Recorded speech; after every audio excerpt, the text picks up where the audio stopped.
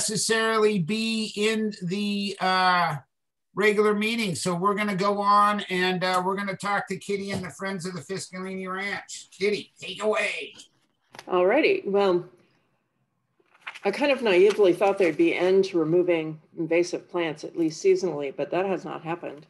So the volunteers have been removing kikuyu grass from around the boardwalk and um, lupins cutting, well, they're not invasive, but cutting back lupins on the bluff trail so that you can actually pass. They removed a bunch of ice plant on the bluff trail, which has now been hauled off um, the ranch. Worked on, now working, uh, a lot of the work is shifting to trails. So on one of the steeper trails called the Ravine Trail, the volunteers tried to prepare it for uh, rain, should that happen. Um, so we're working on erosion control features on there. And there are a lot of secondary trails that people cut on the ranch. So the work this week is focusing on closing those off so that there's not just, it's not just all trails. So we can maintain the official trails but the big and and um, the final bench is going uh, up.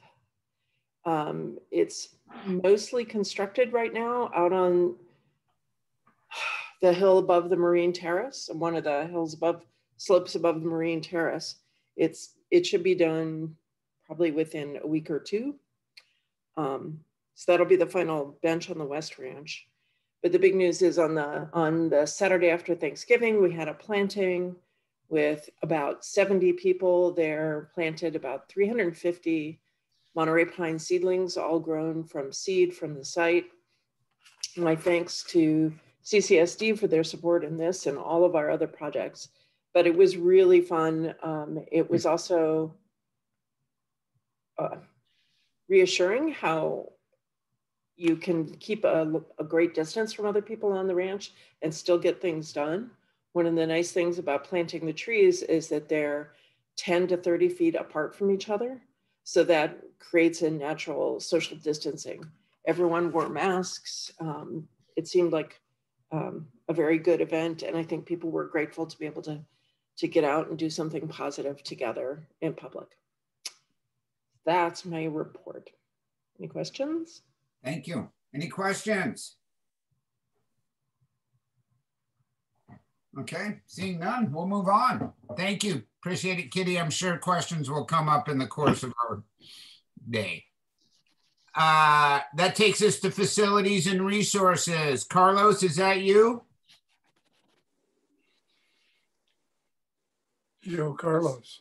That is me, but I think you have public comment before. Oh, uh, yeah, nice call. Sorry, brother. We're going to go to public comment first. You're right. Thank you.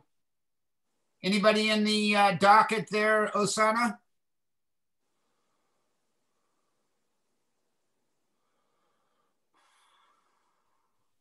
I'm checking right now. And so far, I hadn't had anything. okay, perfect. Yeah, because nope. Anybody? No? You're good. Okay, we're going to move on. Facilities and resources. Carlos, now you. Give me just one second while I turn something off here.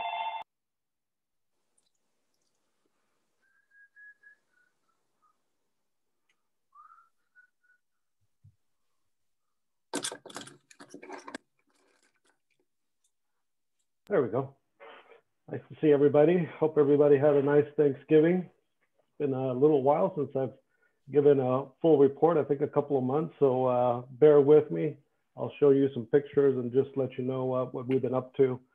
Um, and I think I have two, two reports that I'd like to provide for you.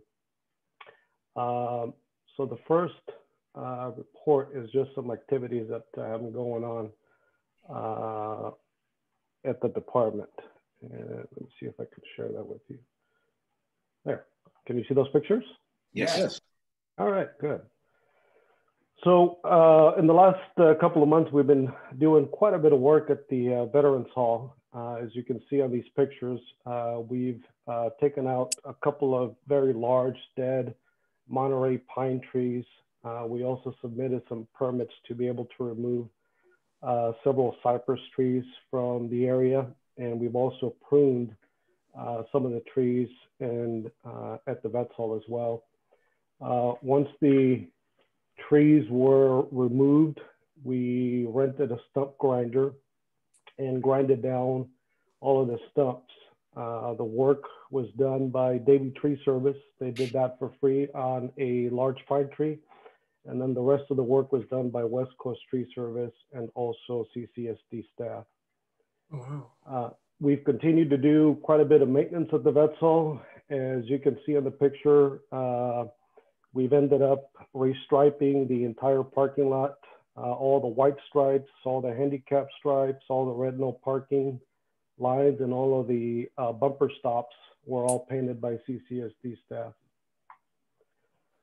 We also wanted to make some improvements inside the hall since uh, we haven't had really uh, much activity inside uh, since COVID started back in March. Uh, so you see uh, CCSD staff working on the stage on the pictures.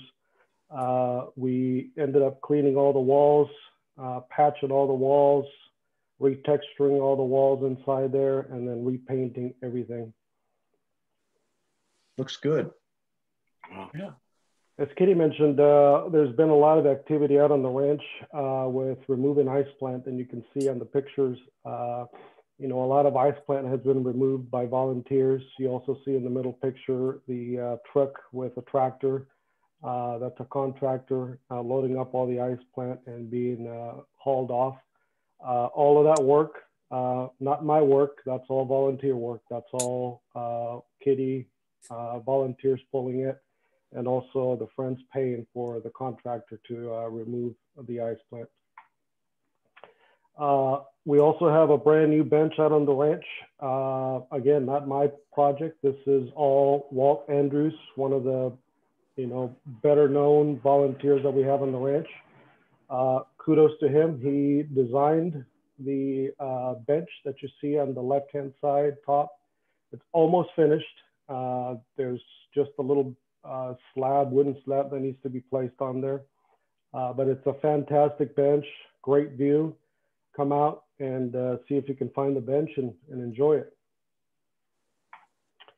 Uh, over the past month, CCSD staff has been extremely busy out on the ranch and other properties doing tree work. Uh, we have removed, cut, chipped, hauled away 40 dead trees on Fiscalini Ranch and other CCSD properties. And you see on the pictures there, uh, CCSD staff cutting down the trees, chipping the trees, and then hauling away uh, the large rounds. Are those 40 trees? 40 trees, yes. 40. Okay, thank you. We also had a request from the fire department uh, as they have new um, members in the department that just started uh, and don't have a lot of chainsaw experience. They requested uh, some of our assistants uh, for them to come out on the ranch and get some chainsaw practice. Of course, we have, you know, plenty of dead trees for them to come out and, and practice on. So you see in the pictures uh, about, you know, half a day's worth of uh, work uh, with them utilizing chainsaws and dropping smaller trees and just getting some good practice there. Uh, as Kitty mentioned, we also had our annual tree planting, and uh, you can see in the middle picture, Kitty, you know, uh, holding the directions on how to plant trees, and, and Carmen, one of the FFRP board members there, uh, instructing uh, the folks coming out on how to plant trees. it was overall a great, great event. Everybody, I think, had a good time. Kitty mentioned over 350 pine trees got planted there. Uh, we've also been working on other properties. Uh, specifically, this uh, picture shows us working on the pocket park on Center Street. Uh, we ended up spending about a half a day there, um, cleaning up the area, trimming back uh, the brush and the willows, and uh, just just making it look a little more presentable there. And this last picture that you see here is the trash can recycle planter boxes that you see on Main Street. Uh, we're working with uh, Beautify Cambria at the moment. Uh, they received a grant to um, spruce up uh, those planters. Uh, so we've brought two of them down to the shop. Uh, they hired a contractor to sand, restain them, and then we'll move them back onto Main Street. And then Beautify Cambria and volunteers are going to replant and re-spruce the the planters at the top. Uh, so that'll be an ongoing project, uh, you know, for at least several months. That's one of my reports. I'm happy to answer any questions on that if you if you have any. Just, just a comment, the, the pictures were great. Thank you for, for showing that. That really makes a, a better illustration of what you've done. Looks good. Thank you, Kermit. Appreciate it. Anybody else? busy, Carlos. Oh, just a, just a little bit. All right. Any other All right. questions for Carlos? Do you want to give the other report? Yeah, yeah, I'll give, I'll give you, I'll give you other report. I'll try to be brief. Uh, you know, every, every year, every six months, I make my usual, uh, homeless situation report. Uh, and, uh, I'll, I'll try to be brief on it. Um, I'm not gonna talk about mental health or drug addiction or a solution to homelessness. Just, uh, just to give you an overview only of, uh, the impacts and also, you know, the amount of, of issues that we're dealing out in the field with, with homeless. Um, and, you know, I, I sort of wanted just to give you maybe a, um, maybe a little timeline of sorts of, uh, you know, how it's progressed throughout the years. Uh, let's see if I can find this one here. Let's see. There we go. So just to give you a little time frame, uh, you know, the homeless situation is really uh, sort of ticked up in the last four or five years. And um, about 2015, 2016, uh, we were finding maybe just a handful of encampments on, on the ranch. Uh, not very many, as you can see here. Uh, encampments on Fiscalini Ranch and CCSD owned properties. Uh, in 2016, 2017, you know, that number steadily increased. You can see here, uh, we're working with uh, the Land Conservancy um on cleaning up uh, CCSD owned lots below Ramsey. Uh, we're utilizing prison crews uh, that were available to us to be able to help us clean all those those properties. Uh, but then in 2018, uh, we were noticing that we were having a lot more activity on CCSD owned properties and on Fiscalini Ranch. At the end of 2018 and 2019, uh, we spent an incredible amount of time going through and really mapping out uh, where all of these encampments were. And you can see on the map, uh, you know, a picture of, um, you know, every little star isn't just one camp. It's just a location of, could be one or could be several camps. But throughout the year 2019, uh, we were able to uh, map about 60 homeless encampments on CCSD properties and um, Fiscalini Ranch. And you know, the, these are the pictures that I've shown before about what those encampments look like. Um, some were occupied, some were abandoned. Uh, it took a year-long process, multi-agency process, multi-phase process to be able to um, evict, clean, and rehab all of these sites. So if you go out there, um, you know, all of those sites that you see, the 60 plus homeless encampments were cleaned up uh, at the end of last year. So we move on to this year. We saw an, in, an a little uptick of homelessness encampments. Uh, this is a map of February of this year of uh, CCSD lots and Fiscalini Ranch. Again, these are the pictures of what those encampments look like. Uh, some small, some large. and again, it, uh, it was a, an effort to uh, evict, to clean, and to rehab, you know, all those areas. This is a picture of September 2020, uh, and, you know, we ended up uh, with just most of the encampments on one section of the ranch and CCSD owned properties. That's what uh, the encampments looked like uh, a few months ago. Again, we were able to uh, evict and clean clean all these sites. And this is what we have now, which is the encampment that you see across from Cambria Drive and Highway 1. It's the only encampment that we have uh, we have been able to find on CCSD properties as of an inspection uh, last week.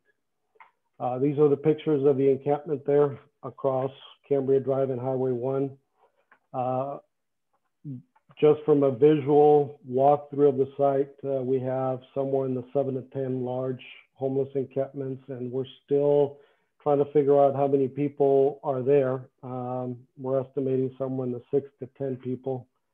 Uh, and we're working on trying to find a solution to evict the, the people there and to clean up the site. So we're working with the county and uh, law enforcement right now to come up with a plan on doing that. Uh, I just also want to uh, say that uh, homeless encampments are just aren't just uh, an issue on Fiscalini Ranch and open space properties. We're actually finding uh, and seeing homeless encampments on other properties that CCSD uh, owns. You can see in the picture here, uh, we're finding encampments on parks, uh, parking lots, bridges. Um, the pictures on the top are from the Pocket Park. And just this year, 2020, we've uh, cleaned up that uh, camp twice.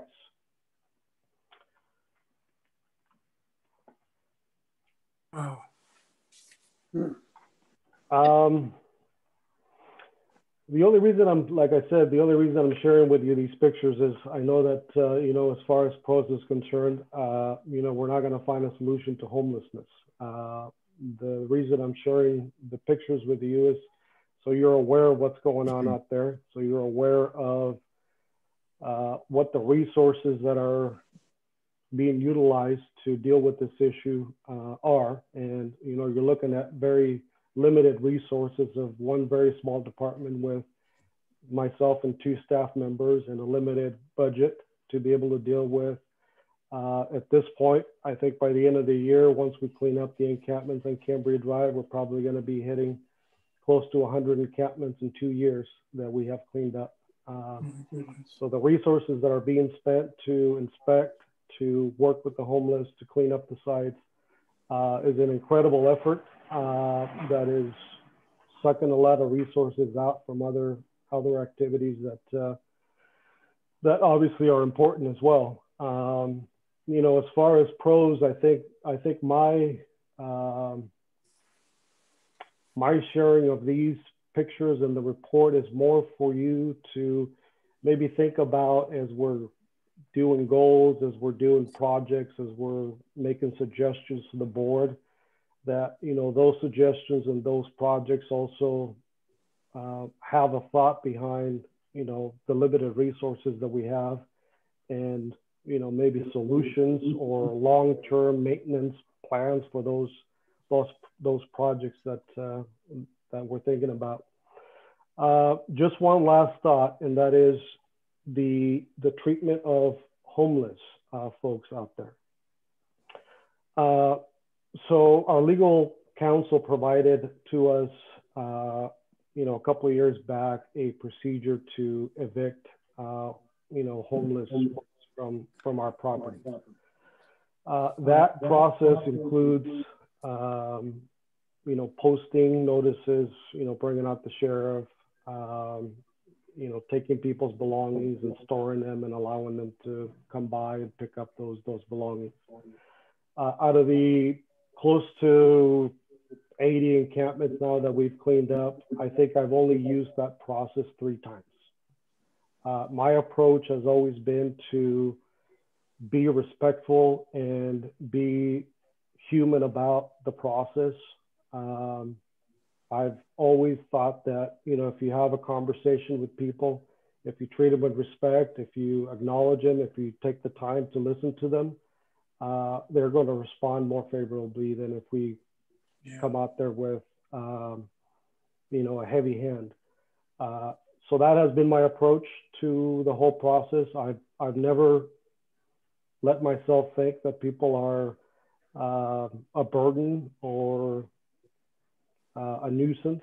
I think once we start thinking about people as as that, I think we've lost the the, the fight on, on on that. So um, you know that's been my approach to to try to treat people as kindly as possible, even though I have a responsibility to oversee you know the resources that uh, that the community has. So that's my report. I'm happy to answer any questions you have. Carlos, have you had any uh, problems with personal property? You described it a little bit, but have you ever, in a big stack of stuff, when you haul it away, do, does anyone uh, charge you with destroying their personal property? I know this is a big deal in the cities where they have to be respectful and they contain them down to a certain amount of stuff they can carry away. But have you ever had anybody uh, complain about your your taking their stuff? Yeah, as I mentioned, uh, we've only uh, we've only utilized the uh, the heavy-handed procedure, you know, just uh, a couple of times. Uh, most of the time, it's talking to the individual uh, and providing them with the resource of a trash bin and giving them plenty of time to for themselves to you know get rid of the stuff that they don't want. Uh, then we make multiple visits, and at the last visit, we make sure that what they're leaving behind is something they don't want. That that is stuff that is basically going in the dumpster. Uh, so to answer your question, I've never had anybody um, come to me and complain that uh, we've taken their personal belongings. We we we, we wouldn't do that.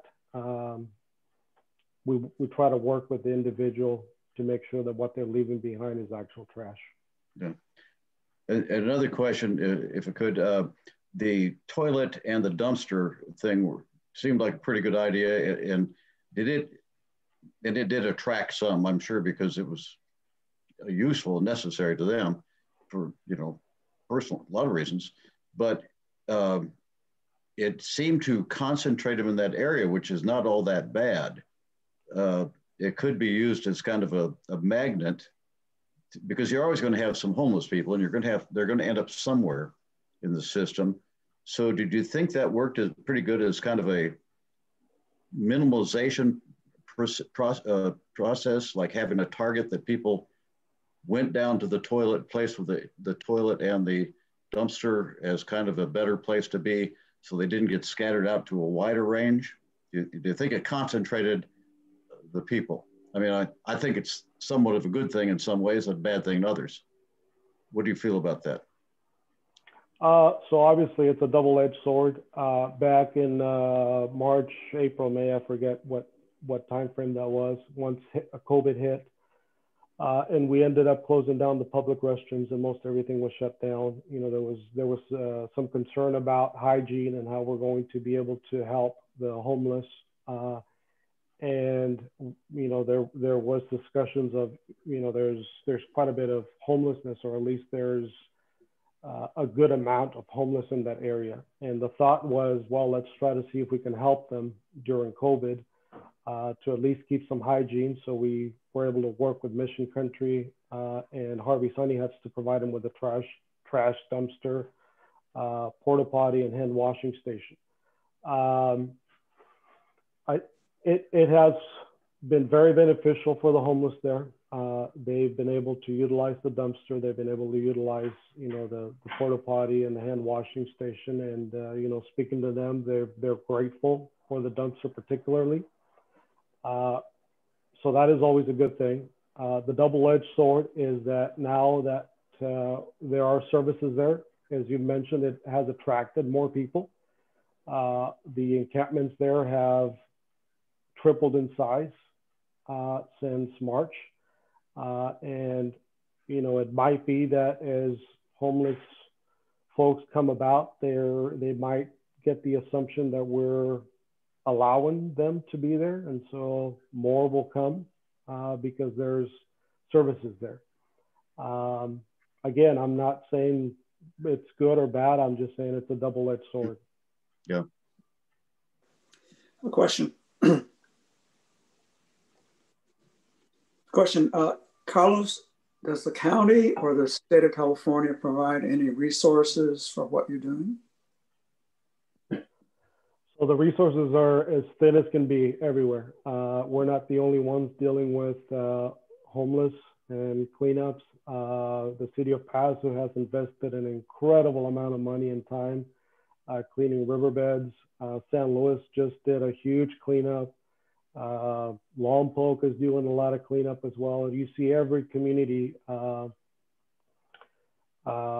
having to deal with this issue. Um, the county, you know, there I'm I'm attending the county-wide homeless meetings, and I'm hearing, um, you know, that every community right now, Los Osos, is being hit hard by, you know, homeless issues up there. So there's a lot of resources being uh, diverted that way to help them out with that. Uh, the reality is, you know, this issue is not going to go away, and I think uh, I think it's only going to get worse. Personally, uh, just hearing what's going on around the county and around the state, um, you know, especially with the pandemic, uh, I think we're we're going to see more homeless uh, folks start to pop up. so, so to answer your your question, we're reaching out to to the county uh, for help. Uh, I'm reaching out to the sheriff's department as well for assistance. Uh, and we're trying to find as much help as we can. Thanks, Carlos. That was a good report. Appreciate it. Carlos, uh, Carlos, uh, first of all, thank you very much for doing what you're doing. And I think you've got the right attitude for it. Um, perhaps the Land Conservancy could be approached for a grant or something. If you hear of any grants that could be done to help us, uh, I think the Pros Commission could be proactive in trying to make sure those grants get uh, in there. Uh, we're accepting a lot of properties from the um, from the Land Conservancy, and uh, they do have some resources. And if they can help us help them, that would be great. Uh, also, the board and uh, the Pros Commission and the general manager should continue to uh, inform the public that uh, rate water and sewer rates does, does not support uh, parks and recreation. The only thing is the is the ta- we don't have a taxing authority really. We do get some resources from uh, property uh, taxes, but not enough, and we can't get enough. So uh, if people know that the only way to support this is through either taxing ourselves more with some kind of a measure or trying to get grants and uh, and the fact that s- since we got the ranch even though we in- inherited uh, you know uh, hundreds of acres. Uh, the ccsd did, did contribute hundreds of hundreds of thousands of dollars to purchase it. And yet now we have to maintain it and we don't have the resources to do so. If it wasn't for the friends we'd be in much worse uh, shape. But somehow, Steve, maybe when you give a report, you make sure that you know the good work that Carlos is doing is really unfunded, and we need to come up with a way to um, help him.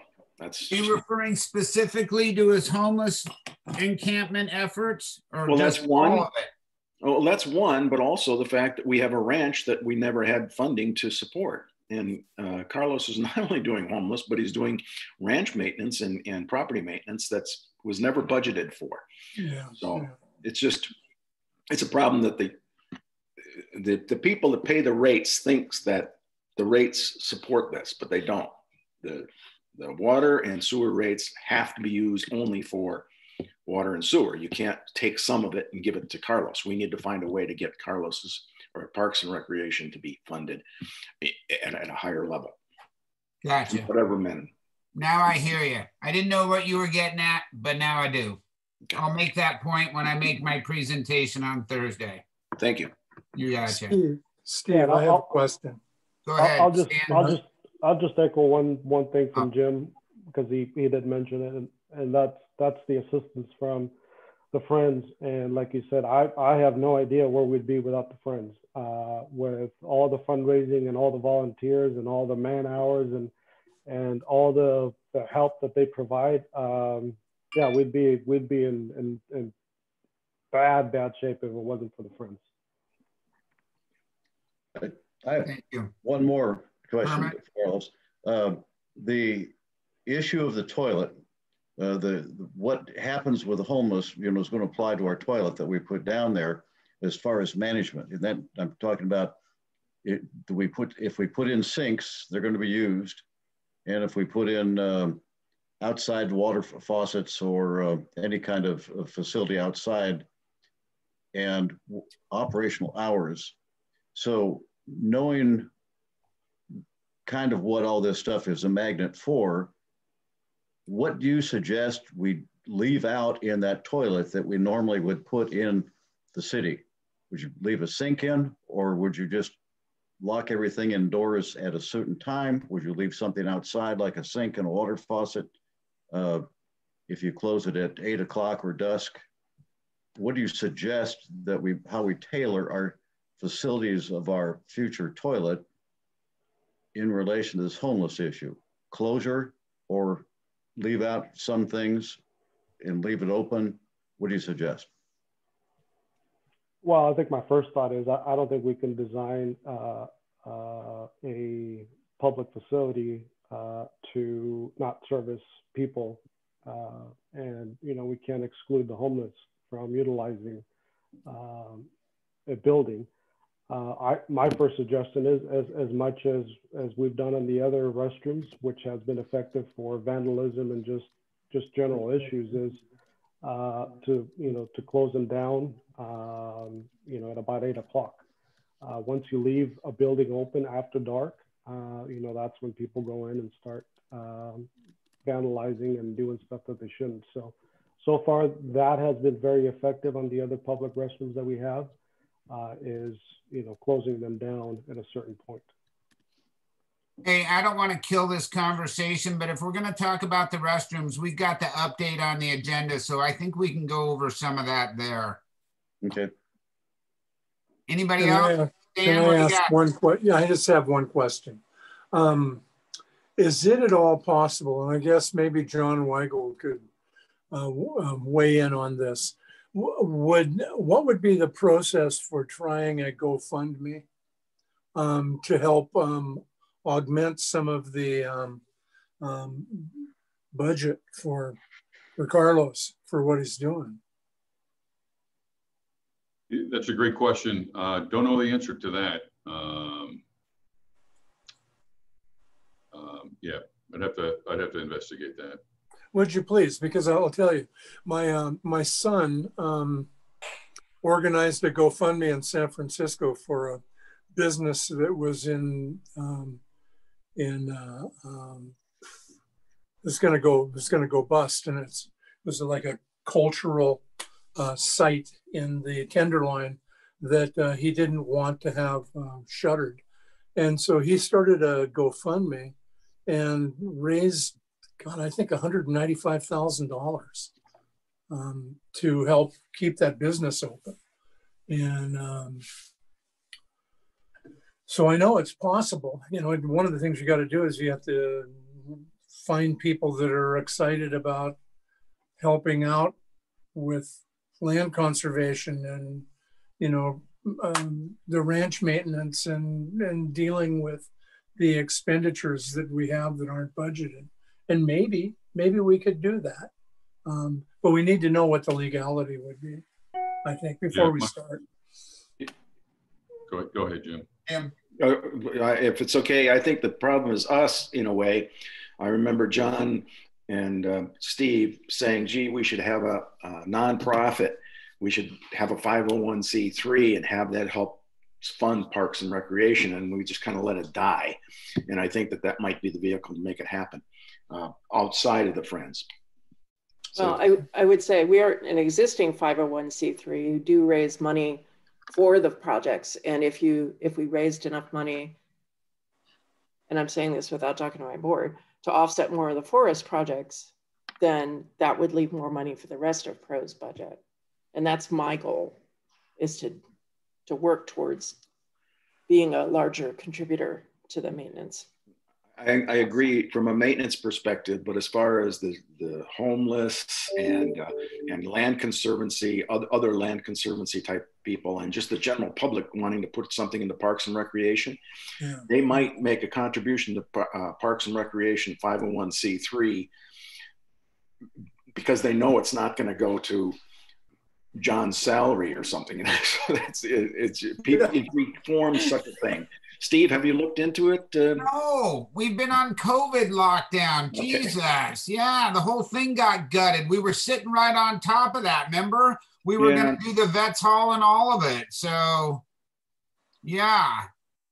Okay. No, I I I haven't, you know. Okay. We, uh, we, so what's what's the next step? Maybe we can get somebody to to help somebody larger and smarter than I. There was a whole group in that room, and I was definitely on the bottom of the list of ability to accomplish that goal. The Lions was there, the Rotary was there, the Legion was there, there was churches there. You know, Mel, Mel McCulloch was he there? Maybe Mel was there.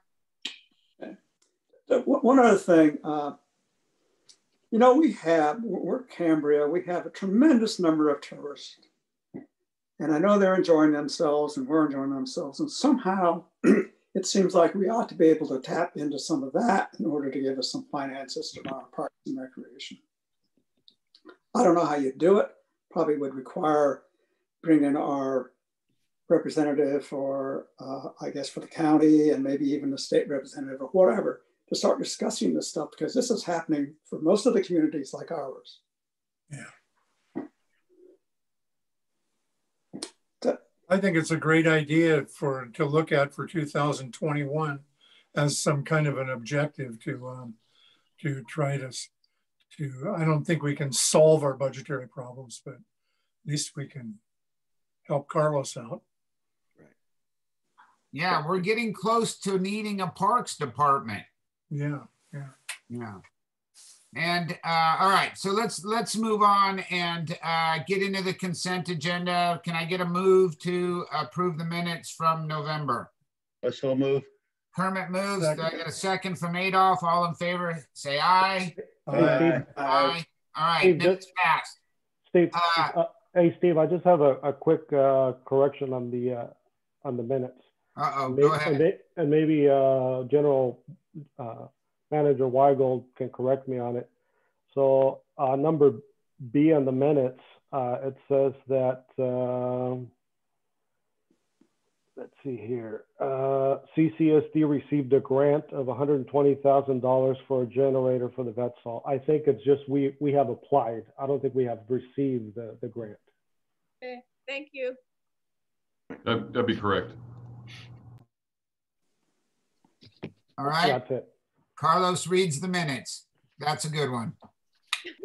Uh, okay, uh, so now we've got meeting dates. Has anybody looked at the meeting dates and do we have a problem with any of the meeting dates for 2021? I think they're fine. Yeah, even I'm not looking at them right now. The only questions are normally that Tuesday in November, if that means anything on an election. But if it does, we can change it as we get closer. So can I get a motion to accept the meeting dates for the upcoming year? I move that we accept the meeting date. Joyce says yes. Kermit says yes on the second. All in favor say aye. Aye. aye. aye. All right, those are the meeting dates.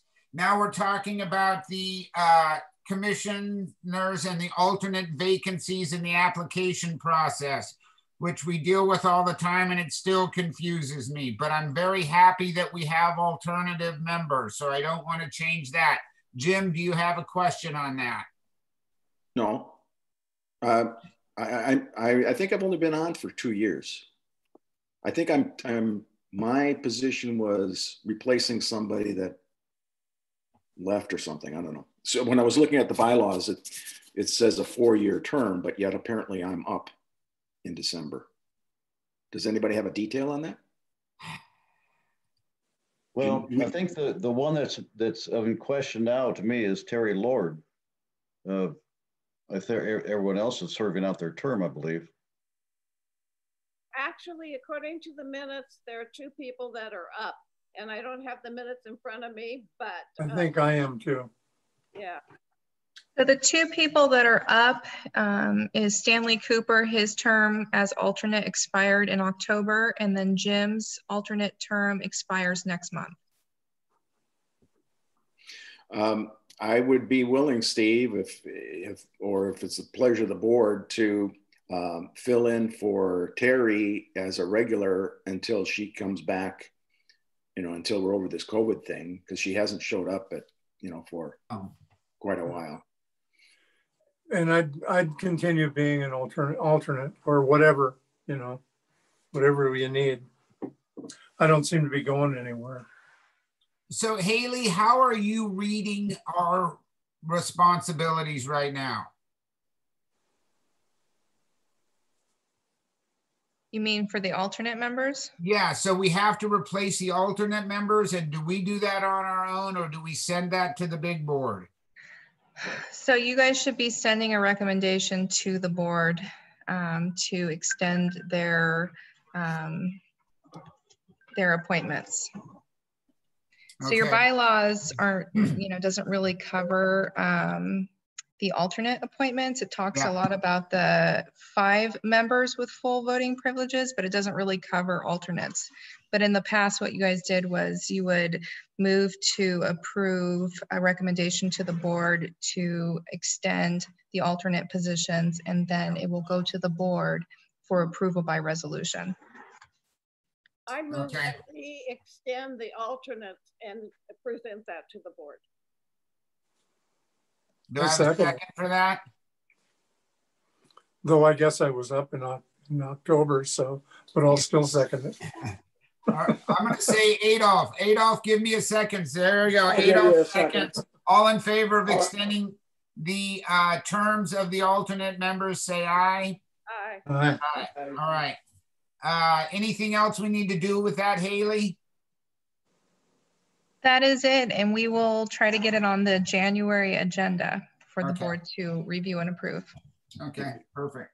Cool. Thank you. Let me get rid of that.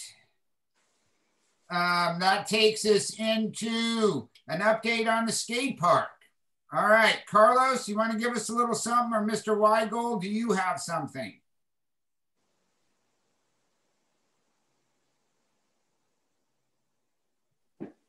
Oops, Carlos, Mr. Weigel. So um, we, we are uh, moving ahead with the skate park. Uh, Our next step is to get a contract with a designer. Uh, So we're making, working, working on that with uh, our um, legal counsel. And then uh, we'll have, uh, um, we already have a proposal from a designer, designer and builder, but he- this is just for the design part. And they'll do some renderings and uh, some other engineering work and uh, come up with costs for the whole project. Okay. Uh, Carlos, do you have anything? Uh, yeah, I'll, I'll add a little bit more. So um, I met with uh, Julie and Shara uh, yesterday. Uh, had a, a good conversation with them. Um, they have a lot of passion. They've done a lot of great work. Um, kudos to them uh, and all the kids for all the fundraising that they've been doing. Um, and uh, we met as well with um, Spohn Ranch a couple of weeks back. Aaron, I believe, uh, is his name. I forget what his last name is. He's he's the representative for Spohn Ranch. They built uh, quite a bit of um, skate parks in the past, and uh, you know, if Cheryl or Julie want to chime in on on that, uh, they provided us with um, an estimate on doing a conceptual plan of the skate park. Uh, it's not the it's not the actual um, design build portion. It's just the conceptual plan. The conceptual plan is basically the starting point for the project where uh, they will bring in community input, the kids, um, members, pros. Uh, they'll take their ideas, they'll put them together in paper, they'll go to the county uh, with those ideas. They'll ask the county what we need from uh, or what they're going to require from us um, if we want to build the, the park. Uh, and then when it's all said and done, we should have a good idea, good uh, presentation of what the skate park is going to look like um, with all of the permitting requirements that we're going to need with an actual estimate of what the, the cost is going to be for the skate park. Uh, the that estimate is $14,000 for them to do that work. Um, it's well within the budgeted amount that PROS has for, for the project. Uh, as you recall, the board uh, allocated $17,000 to help with the skate park rebuild, so that's well within budget. Uh, and as General Manager Weigel mentioned, we'll, we'll be working uh, with uh, legal counsel to go forward with, you know, trying to trying to do a contract. Uh, 2000? I'm sorry, Joyce, I, I couldn't hear you. Much? 2000? So the the the estimate for for the work uh, is fourteen thousand dollars. Okay, uh, but you're going into the county with 14,000 or is that what the estimate is that we're going to ask? No, this is this is this is this is the estimate from uh, Spohn Spohn Ranch Okay, for for the conceptual plan of, for the conceptual plan, okay. of the project. What is the name of the, of the uh, organization that's doing it? Who is the organization in charge of making Here. the conceptual plan? Uh, let me see here. There, Okay. I got there's it. Yes. Spohn Ranch Skate Parks. In. Okay, thanks. Thanks, Carlos. Got That's it. their that's their estimate, fourteen grand. Okay. Thank you. Thank you. maybe John and, and Carlos, maybe this is the wrong thing to say, but I'm gonna I'm gonna throw out the idea anyway. Um, the um, the schoolhouse is uh, being rented to a nonprofit, and so the CCSD owns the property, but they've leased it to the nonprofit. So now the mon- nonprofit doesn't have to pay uh, wages. They don't have to go through. They they aren't bound like a CC like the CCSD is bound by, you know, bidding and all that other kind of stuff. Perhaps an idea is to lease the land to the skate park people, so that they don't so they don't have to pay competitive wages. They don't have to jump through all of the hoops of a design build. CCSD can't do a design build, but maybe that private group can do a design build and get around it. I'm just throwing it out there, and maybe you can check with legal counsel to see. Yeah, Jim, Jim, we, I actually already did that with legal counsel and we're, because we own the land, we're bound to, uh, subscribe to the, to all those regulations. Yeah, we tried that, uh, but great idea. Um, All right. yeah. Any other ideas? So I'm all ears. Okay. Thanks. Uh, and so then my only question would be as to the grant and how the hundred and seventy-seven thousand dollar grant is going. So really no, no more progress on that because we have to come up with a design and identify a contractor and have a signed agreement before we can apply. Okay, but that's what we're doing with Spohn Ranch, right? Well, that's just for an initial design. We'd have to go then forward with a final design, bid it out, find a contractor, contract with the contractor, then we apply for the grant. So that's still on the, on the radar? Correct. Yeah, all right, because I'm pushing for that, right? I'm like, I don't want to miss that hundred and seventy-seven thousand dollars. And the way I'm feeling right now, the skate park is the project we're going to use for that because that bathroom is a long ways away because we don't even know if we can have water on it. And if we can only do a pit toilet, we don't need the hundred and seventy-seven thousand dollars. So I'm going to be pushing hard for the skate park to get that money unless somebody else has got another idea. And I've been told through a good source that the skate park is starting to develop quite a little pot of money. So once they get their money together, they're going to be a player. So that being said, I want to just make sure that we're all pushing forward for this particular item. Uh, one of the things that has been told to me that's important, both I think to Carlos and the skate park people, is like we've done with the bathroom people with Jim and Kermit. They would kind of like a little ad hoc group, two of you that we could put forth to say, hey, this is what's going on with the skate park. Does anybody disagree with that?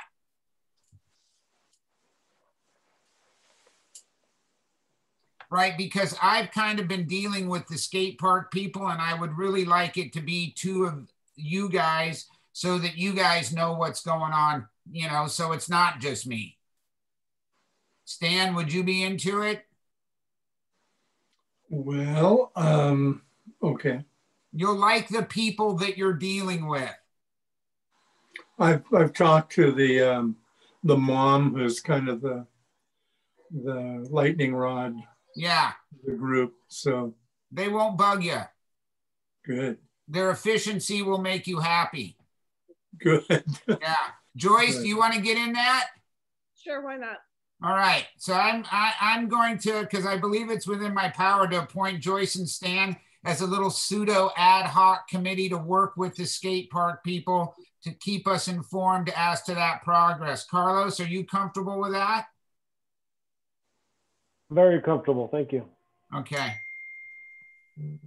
Uh, we're going to go with that. But Kermit, there's been a request for you to pay particularly close attention to the skate park because the group is comfortable with your knowledge.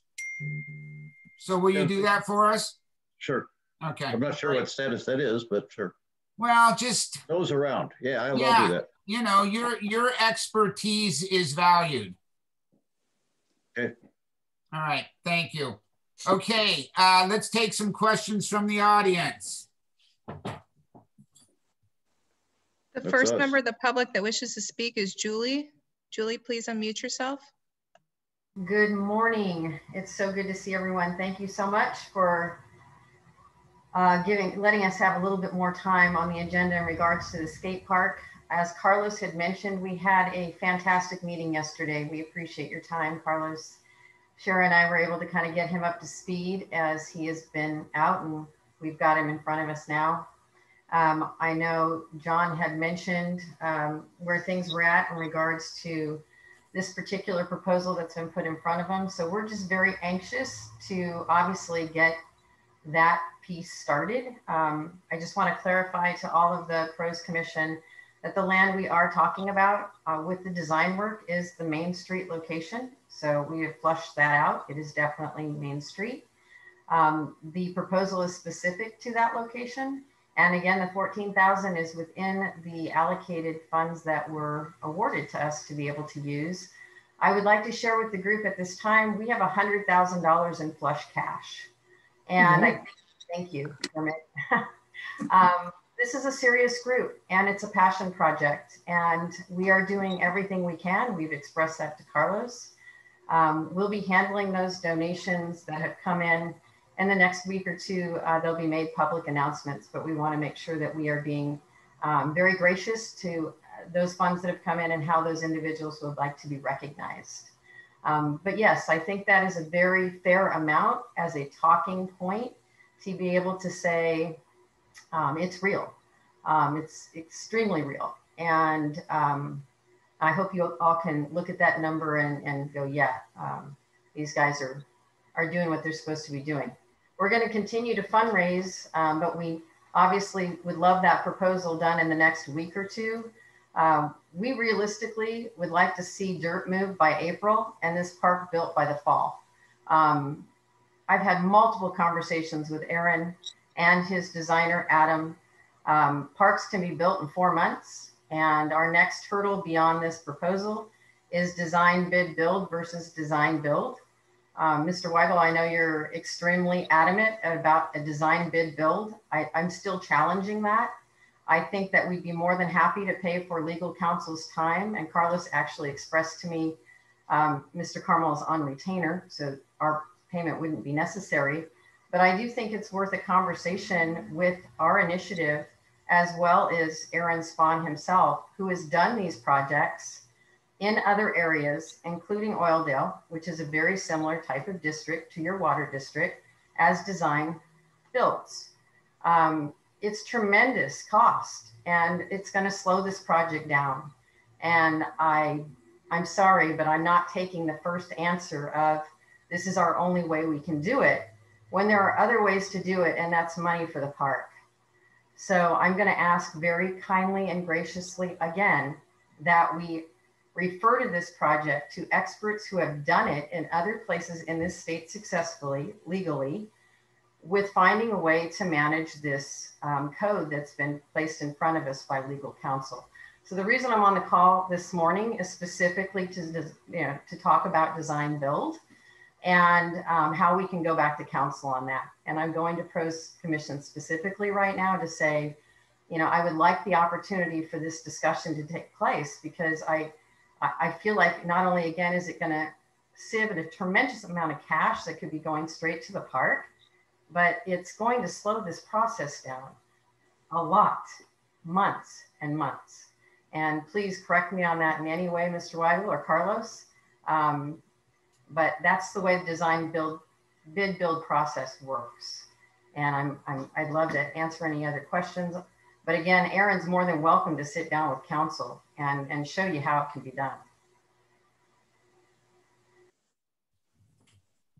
Okay, so I'm gonna, because this is kind of, I feel like this is a crux of a little bit of what's going on, and I don't understand it or the intricacies of it design, bid, build, or design, build, right? Somebody's got to come to grips with that and really sink their teeth into it because I do believe there's other options out there besides that concept. And uh, there you go. Kermit, what's your thought?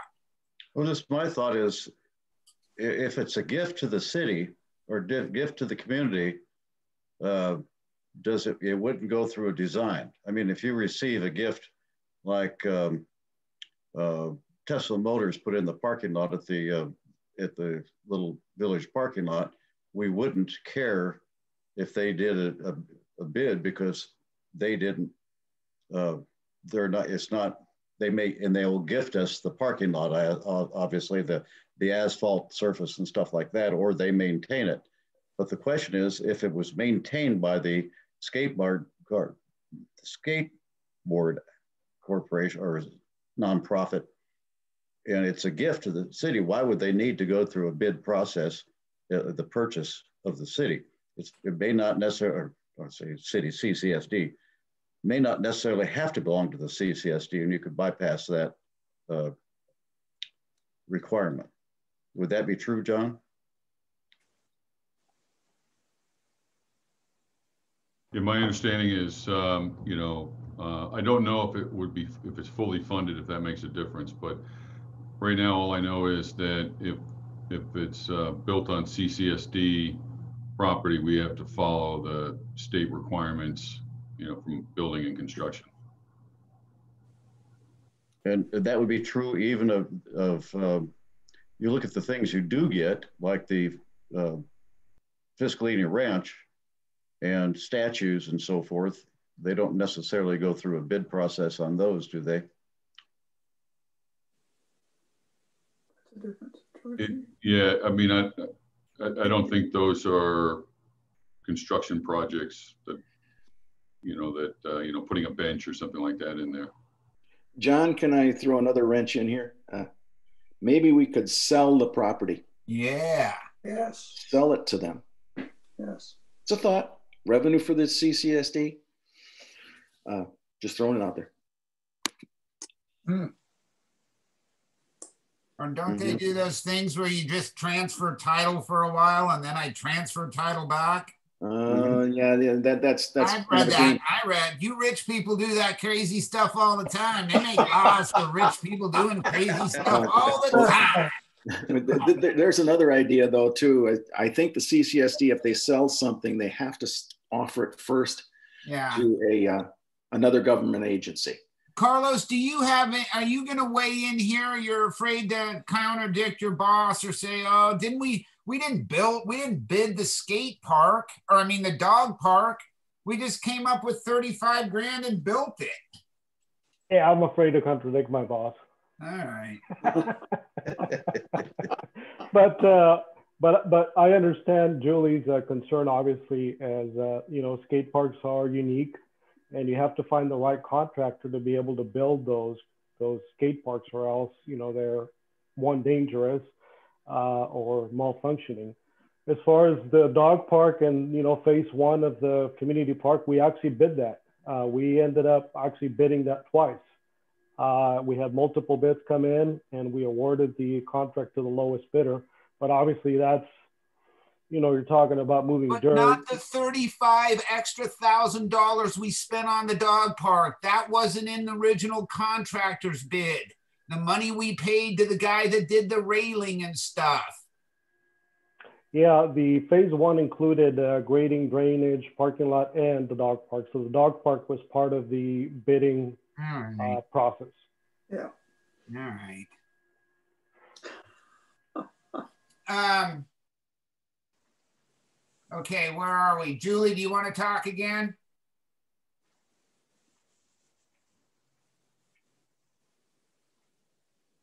Billy, go ahead and unmute yourself. Can you hear me? Yeah. Thank you. Uh, so, I, you know, I don't know how we go about doing that. I'm just saying, I, I think it's worthy of a conversation. Um, again, there are projects like the one in Oildale that is not a city or a county.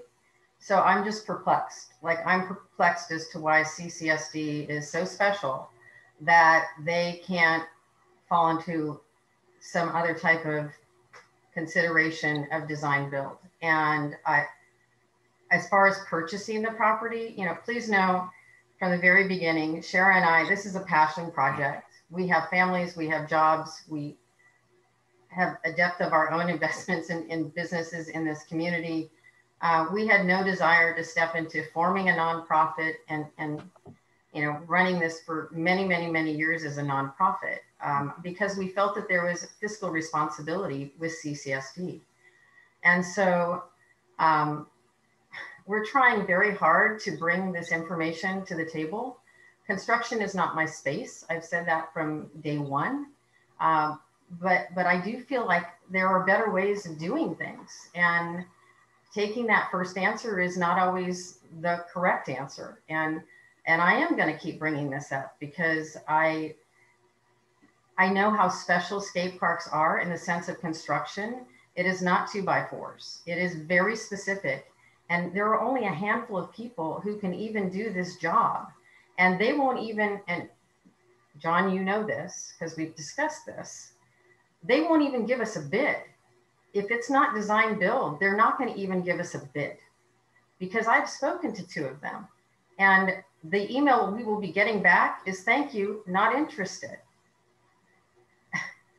So you're hearing a little, you know, of my frustration only because this is a big piece of it. And what concerns me is we're going to get through spending the 14,000, which thank you. We're excited. Let's get that going this week, next week. It shouldn't, I mean, the proposal's been sitting there since the 17th of November. I got it. We had a holiday, but it shouldn't take a month to decide on hiring somebody to do the creative work and potential survey work. So I don't know why that couldn't be done this week. And in the meantime, begin talking with at least council again, John, in regards to looking at this project in Oildale and talking to Aaron um, and seeing how they did it. I know there's a way to do this. Yeah, can I say that I that kid that showed up at that skate park was very knowledgeable. He's a smart dude. And if he and he I don't know if Carlos has talked to him, and I don't know if talking to the lawyer is the answer, but he seemed to have answers for these questions that we're having. And he's saying, listen, I've done it in the state of California. I did it here and there. And the conversation was beyond me. But I'm telling you, he seemed intelligent. I think it would behoove us to have him talk to somebody to see if he can change their mind about something I'm not even really sure what I'm talking about. But that's Okay. that's how I'm trying to, you know, disseminate this information. Kermit. Why can't we bid out design build? Once they've got the concept plan, they, their, their part is finished. Why can't we put out design build? I doubt if anybody else will bid on it. It- You'd have the whole package is all you're bidding out. And there's not very many people who are going to bid on it. And I doubt if it, there, anybody else is going to bid on somebody else's design build So, or, uh, uh, excuse me, proposed, concept plan. So the, so the rule in the state of California, if the overall project is under a million dollars, you cannot do a design build project. Hmm. under a million. Makes Why it would- That, that sounds strange. but- Yeah, right. That's like banks giving a cheap loan to rich people and a high loan to poor people. So if it's a little project and it doesn't make a lot of sense, we got to do all this stuff. It's it's super huge. Just do that. All right. Uh, I have a question. So, so, I, so I guess, uh, John, I guess you would have to make a, uh, I'll call it the RFP or request for proposal, meaning that somebody would have to put that together to say what they're going to be doing. So, who in our organization then would put that proposal together in order for somebody to bid on it? Who is that? That's Carlos and me. You and Carlos. So, if you brought in that designer guy as a consultant to bring together whatever the skate park is going to be and make that the proposal, would that work? Yeah, so we, for, for, so we don't have to bid out professional services contracts. So that's why we can hire this designer without bidding, bidding out to, for three and getting bids on it. So we can hire the designer for the restroom and the skate park individually. We don't have to bid that out. Once it comes to construction, we then got to fall back on our purchasing policy, which is we have to go out, get three bids. And uh, they have to meet the requirements of you know, working with the federal government, prevailing wages, et cetera. Okay, so so so the Spohn Ranch folks, they design and build, or they simply design and then go out and get somebody to build it. They can, they can build also. Well, could the Friends of the um, Fiscalini Ranch do it as a nonprofit? It's not on ranch property, so I it's outside of our remit. Okay. If it was on the East Ranch, we could do it. Well, we could give you that piece of property. Yeah, I don't think that'll It go over super well, but. We- if you want me to take it to the master board, you don't want to smite me with that. I don't think so. Jesus. Hey, You, uh, Joyce. Um, I think we're kind of at a, a stall, you know, at a place where we're not gonna make any progress. Maybe we should, uh, I don't know what, but Uh, we could just go on and on and on. Well, we've got 14 grand. We need to design that thing. We need to get on that this week and get going. And then we can grind this thing out over the next 30 days. All right. I see Ms. Tatham wants to say a word. Good morning. Can you hear me? Yes. I, Kermit, you had a question. I'm not sure where Julie went, um, but you had a question about Spohn Ranch. Um, you said, can they not design and build? And and typically with the skate park designers, what they want to do is design build. Because they're so specific, they do not want to put their design out there to be bid upon by other contractors. So just to answer your question on that. I was just thinking of the con, that'd be true also of the concept plan, because once they do the, uh, my thought is they, we put out the concept plan and then bid on that, but that was a design build concept after the concept plan. So, um, no, they would, they wouldn't, they aren't gonna do blueprints. They're just gonna do a concept plan that, you know, still has to be, have, still has to have uh, construction plans if it was gonna be bid on. And that's the problem is, you, I, I don't know how we'd ever get construction plans from an outfit that doesn't want to do design, anything but design build.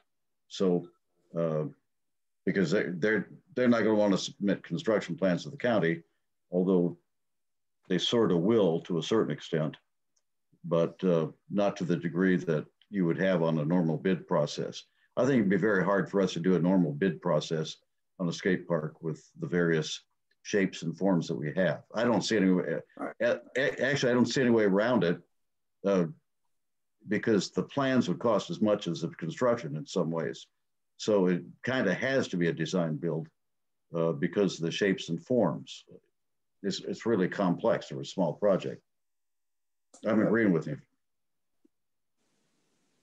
Steve, uh, if we really have to uh, have something done in the next, you know, this month or the next few days, weeks, um, could you and Stan maybe, I'll move that you can do whatever you want uh, in the next uh, week. If Stan was on that uh, ad hoc committee meeting, uh, ad hoc committee. Um, but if something has to be done, I move that you can make a decision or something like that. Because I can't add anything. I don't think anybody can add anything to this discussion as we speak. Yeah. John, where are we? Where are you at right now? What are you going to be doing this week for this particular project? I am. Or is that a question to Carlos? Yeah, so we're working, with- like I mentioned before, we're working with uh, district counsel to put a contract together. Okay. Okay. So we're at a standstill until that is done, right, John? Pardon me, one more time? Uh, we're at a standstill until that is accomplished. Is that true? Um, well, I don't, I don't look at it as a standstill. I mean, that's the next step forward is to, Okay, uh, all right. you know, get a contract, engage with the, with the designer and, and then he goes off and we pay him some money, he goes off and does his thing. Okay, and so what, what, what Julie is asserting is that there, that Spohn Ranch is not gonna design it for fourteen thousand dollars. Is that true? That's correct. That is correct. Julie, can you comment on that? Is that, do you find that true? Thank you for unmuting me. That is correct. In other words, these aren't stamped construction documents. This is just creative, you know, chiming in with the community, um, which is why I'm Yeah, but what being so John is aggressive put about. out is, he's gonna put out an RFP that says, we want construction documents. Is that correct, Mr. Weigel? No, that is not correct, No. Steve. I don't, yeah. This is just simply survey and creative work. And so that's why I'm pushing so hard on us getting clarity on where we are headed because it is a very quick next step. And to me, I like to use money responsibly, especially when we're bringing in public funds. And that next step is going to be on us very quick. And by the way, in regards to two things, one, I, John, I have a question in regards to Sourcewell Guide because Sourcewell Guide is could be used in this process, and you are on the approved list for Sourcewell. Um, so I'd like to look into that. Um, maybe Carlos or John, you can elaborate on what Source Sourcewell is for some of those on pros commission who may not be aware. Um, that would be one. And then the second is in regards to, you know, us jumping right into needing to know that next step. Um, it also is a fluid conversation with somebody like Aaron, again, who is built for Red Bull, Vans, Disney. I mean, this guy's the, he's the real deal. And I'm, he does specifically California. So he understands California state law. He's also used this grant before. He understands the Prop 68 grant in which we are looking to potentially use for this project.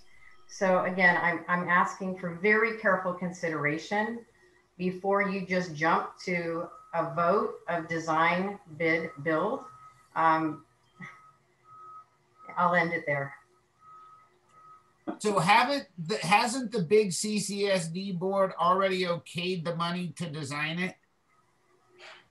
Well, they okayed the, the money to do what we're doing. In other words, seventeen thousand, this comes under budget at fourteen, plus three thousand for a grant writer. And by the way, to go back just a moment on the question in regards to potential RFPs, if that is the only direction, design, bid, build. Um, John was provided multiple RFP samples that I got from another designer. That would be a very easy pirate of having to write the RFP. I mean, we're, we're doing everything we can in homework to make this as easy as possible. Again, that's not the, the way we want to go, but I'm saying that they've been handed over sample RFPs. Can we explain Sourcewell Guide? Yes, and explain that. Carlos, do you know Sourcewell? I think I'll leave that up to John. Yeah, I'm drawing a blank right myself. Well, gentlemen, you need to look into it because you've done projects with Sourcewell and it's basically an open PO in the sense of approval of construction and projects like the skate park have been done with Sourcewell and you're already on the list. That's some money. Does anybody in our group know what Sourcewell is? No. No. All right. It's more Does- about uh, what I've been told is it's a little group in the state of contractors that say we don't have to do the bid process because we're good. And it's another group of agencies like ourselves that say we're going to be in this little group over here and we can hire them in that group over there if they're on the list. That seems to be what that is. Julie, is that true? Correct. It's a cooperative purchasing organization. Oh, I didn't use the right words. I apologize. But skate parks have been done with Sourcewell before. And again, CCSD is currently on the list. Good to know. Adolph. Joey, I'm gonna come down on Friday and, and talk to you. Um, so we can carry on further. Julie, I think Stan can help you get there. Awesome. Adolf, what do you got? No, I, I was just thinking whether or not the Sourcewell had a, a, a limit in terms of amount, or if it was just an open situation where these folks are all qualified and you can hire them for whatever money you, you need to spend. Yeah, I don't know. And also, uh, I guess if we put a proposal together, I, I guess somebody has to review all those proposals. Who will do that? Say that again? Well, you put it together an RFP and somebody responds to that RFP. So within the organization of the CCSD or pros or whoever, someone has to review all the proposals that are sent in. And, and supposedly you would select or not select those who have made a bid for the project. And I'm not sure whether or not CCSD follows those kinds of guidelines or not.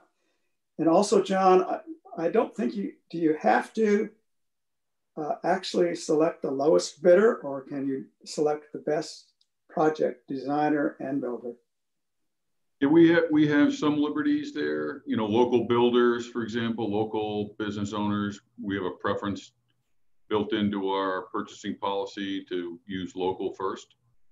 Um, you know, I have to dig in more to understand as it comes to, uh, um, final selection. But it, I, I think there's some, some liberty there, some room to, uh, you know, choose the, uh, the right contractor. That, that sounds almost like Sourcewell, doesn't it?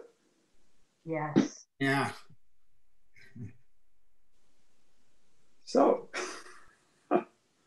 Yeah, this So I Spohn Ranch, who is the designer, is, is a member of this. okay. All right. So there's an avenue that, that we can obviously speed things up by going in those directions. Okay, we need to move on. I have to work tonight. uh, okay, so uh, Stan, you and uh, Joyce are going to help us get through that. I'm, I'm, I don't like not truly understanding where we are with something. And uh, Okay. I trust you. Thank you. All right. On to the restroom. Carlos, get us there on the restroom. We got 20 grand. We need to start designing that. We're- moving forward. Do So, you have uh, anything to report? so yeah, just a couple of things. Uh, so obviously, we're all aware that we received the grant from the county beautification grant, twenty thousand dollars. Um, two uh, commissioners were appointed to help through the process. Um, Kermit and Jim, um, and I've engaged them. I've sent them a couple of uh, emails. One. Um, a couple of weeks back, just uh, letting them know that uh, I was working on updating the contract with uh, Civil Design Studios. The original contract that they provided to us that we submitted uh, with the county was not a complete proposal, um, and it wasn't going to meet the requirements of the grant. So I went back to Civil Design Studios. I shared with Monty the grant and the language that uh, the grant had. And I wanted to make sure that he understood what uh, outcome we wanted once the work was performed. Um, we've had several emails and a phone conversation to make sure that we both understood uh, or that he understood what the grant uh, was all about. He submitted a uh, revised proposal to us which I have forwarded to um, both Kermit and Jim and our finance manager and general manager Weigel. Uh, we are now in the process of uh, getting that uh, proposal um, through legal counsel and getting a um, uh, a final uh, uh, thing going with them. Um, so we're, we're looking to get started here uh, very shortly on this. Uh, it's going to be a little bit of a, a, process of trying to figure out uh, design for for the restroom. We have issues with or questions about water, about sewer, about uh, lights, about um, ADA compliance and all that stuff. But uh, Monty is well aware of those issues. Uh, and uh, he's, he's going to get us through that. So uh, I'm confident with it uh, that he's going to get us a good, good result after he's all done. A couple of things is that we have a time frame for this grant. So we have signed a contract with the county and we have basically told the county that we will come up with a final product for them. Uh, and our, our grant ends June 30th of this coming year. So we have about seven months to fulfill our agreement.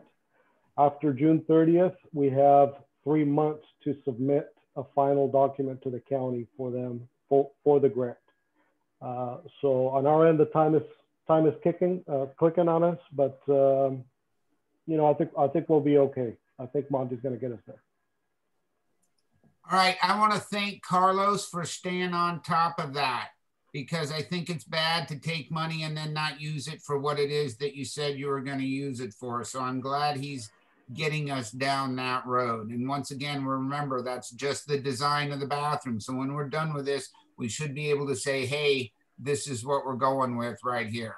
And that's the product that they're looking for. Is that correct, Carlos? That is correct. Okay. And um, so uh, there you go. We don't really need any other discussion on that. Is that correct?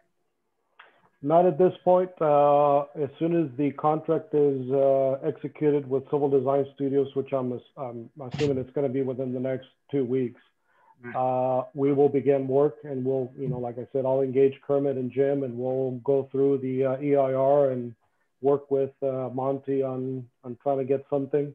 Uh, hopefully in January, Kermit or Jim can have an update uh, and I don't have to update you on anything since they're the new the commissioners that have been appointed to this. Yeah, awesome. Ossana, maybe we can get an ad hoc section put onto the agenda since we have the ad hoc bathroom in the ad hoc skate park.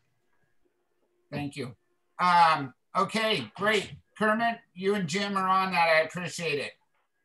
All right, that takes us into the discussion regarding parks, recreation, open space projects, priorities and costs. I had this put on there because when we gave our priorities to the CCSD board, we had them in order as the bathroom and then the skate park. And there seems to be some disagreement as to what our priorities are. And my feeling is, is that the skate park is our largest priority over the bathroom. And I don't know if they were put on in that order, in order of importance, or if they just got written down that way. But my personal feeling is that our the skate park should be the number one priority of the pros commission. Any comment from anybody else? When, when it written down, we really hadn't discussed much of anything about either one. So I think they just accidentally got put in that order or whatever. That's correct. Yeah. Okay. Then I'm just going to make note of it that our number one prior, well, is the skate park first. Right. Somebody Okay. want to Yeah. make that motion? I make the motion the skate park be uh, awarded the first priority because they have more signatures on petition and the Friends of the Bathroom don't have any. I'll second Please, please record that motion as so. Adolf is second. Any other, uh, any, all in favor, say aye. Aye. All right, unanimous. Okay. Anything other than that? Any future agenda items? I think we Um, have enough. Yeah. Sorry the meeting went so long, but listen, we're doing stuff. We complained for so many years we weren't doing anything, and now we are, and it takes some time. So I appreciate everybody's time and efforts. Uh, right on. Carlos and John, thank you. Ossana, Haley, thank you guys for hanging out. And to the public, thanks for hanging out with us. Appreciate it. We're adjourned. Oh, I think, I think Julie's uh, got her hand, hand up. uh, Oh, Julie, Steve, go I'm- ahead. I'm not sure if she wants to comment. Thank you so much. I, I just really want to say how much we appreciate all of you working with us together on this project. Your time and input is, is greatly, greatly uh, appreciated by all of us. And for Stan and Kermit and Joyce, if you'd be so kind, if it's all right, I'm going to reach out to you via email. I think it would be worth having a Zoom call with Aaron Spohn at Spohn Ranch. How do you guys feel about that? I, I That's fine. that'd great. Yeah. That way, he, you know, I, I can only do what I can in relaying the information, but that way it can come from him firsthand and you can be better informed. I think that would be quite wonderful. Awesome. I will email you all today and see what might work for your schedules early part of next week. Thank you, Julie. My Steve, pleasure. you have one more, you have one more agenda item, which is future agenda items, number seven. Yes. Anybody got anything to say for that? Uh, uh, What was it? No, yeah, we don't have, we, we've got plenty of agenda items now. Well, I just don't let Oh. it be oh. lost that we might want to have a 501c3 discussion next year. No, I'm with that, but somebody else has got to do that. That's a great idea, but I can't have that on my plate. I'll play in that game, but we need some big, strong person to, to take charge of that, Kitty. I'll, I'll look into it. Jim, yeah. I would like to add an agenda item, uh, and that would be the uh, right of way for the uh, Piney Way. Yeah, do you have anything more on that lately? Um, I talked a little bit with Kermit about this yesterday. I did a little walk there, and uh, apparently the uh, there's a rumor that the landowner at the bottom is going to build a retaining wall, which would make it impossible for a uh, fire truck to use that. Fire truck doesn't need an easement because an emergency is an emergency. But, um, you know, if if the if the land is altered so that it closes off that road, I think we should take a look at, uh, just look at it, that's all. Yeah, no, we've, it's kind of been on our, on our radar. You know, I Let's- just, I let's always, put on next month's, let's put it on next month's agenda. All right, let's put that back on the agenda. Ossana, let's get on that. That's the Piney Way um, access. Yeah. Okay, awesome. Let's go on for our day. Thank you.